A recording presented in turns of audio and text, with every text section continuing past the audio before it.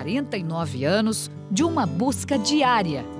Essa é a realidade de Flávio Souza.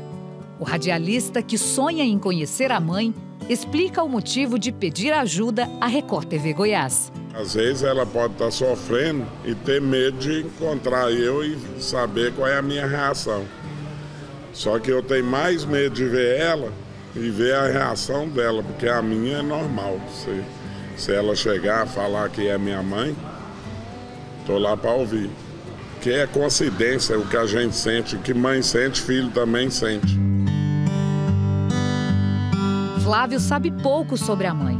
O nome, Maria de Souza, que não sai do pensamento dele. Eu procurei duas suspeitas. Uma está em Aparecida, de Goiânia, e a outra é em Anápolis. A esperança de encontrar a mãe está o tempo todo nos olhos do radialista.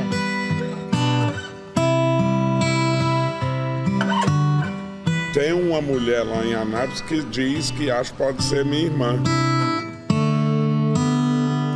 Abandonado no hospital logo depois de nascer, Flávio ficou até os 11 anos em uma creche. Dos 11 anos, eu fui transferido para uma outra creche aqui no Uru, perto de Goiás, cidade de Goiás Velho, e fui aprender a trabalhar com 11 anos. Já um pouco antes nós já trabalhávamos. Mas com 11 anos já fui aprender a pegar máquina pesada para trabalhar, tirar leite, esses trem.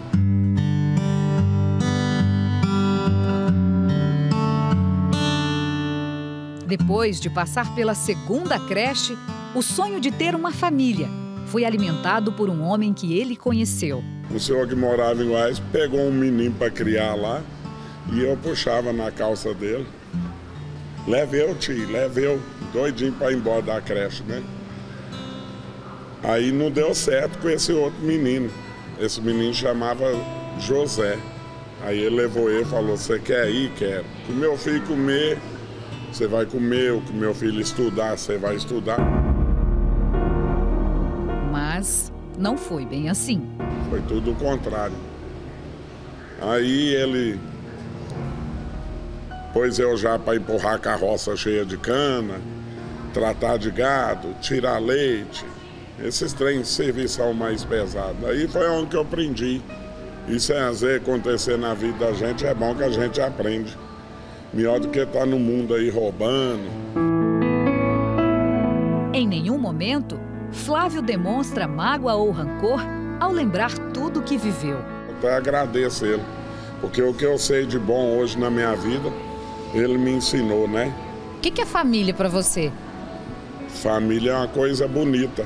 Que eu, eu tenho uma filhada, ela é filha de uma comadre minha, o nome dela ainda.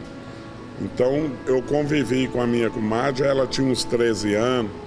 E aí foi pegando aquela amizade, aquele amor de família. A neném nasceu, que é essa Laim, né? Me deu é para batizar. E aí, isso tudo longe, sem saber quem é minha mãe né? É, me deu a Laim para batizar, ajudei a cuidar dela. Eu dava banho, eu cuidava dela, ia vender comida lá em Brasília e eu ficava com a neném o dia inteiro tomando conta. Aí peguei amor de família neles. Enquanto cuidava da afilhada, sempre pensava em como poderia ter sido cuidado quando ainda era um bebê. Não sei se eu, se eu tive o, o prazer de mamar na minha mãe quando era neném, de alguém fazer aquela mamadeira para mim, né? Eu não sei nem explicar. Em muitos momentos, Flávio procura justificar a ausência da mãe.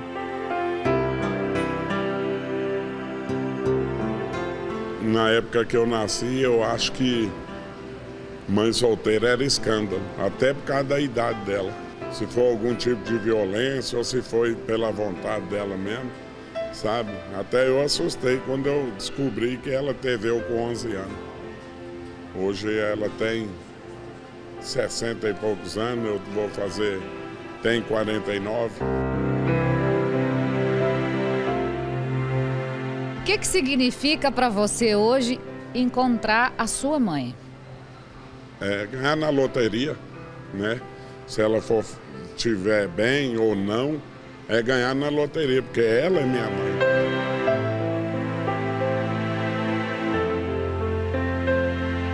Apesar de tudo, é ter sofrido para mim sobreviver.